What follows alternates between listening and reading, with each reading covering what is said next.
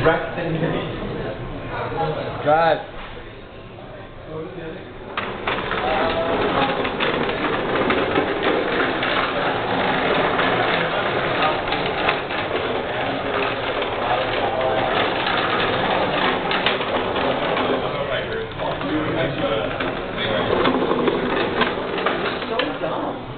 Shut up.